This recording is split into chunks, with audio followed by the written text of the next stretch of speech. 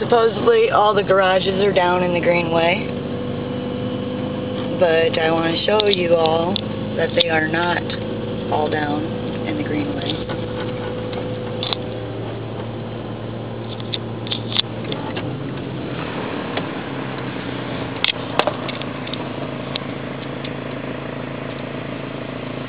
I mean, that one's about to fall over.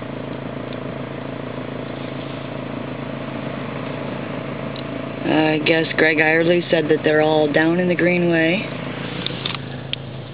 Yeah. There's three of them right there.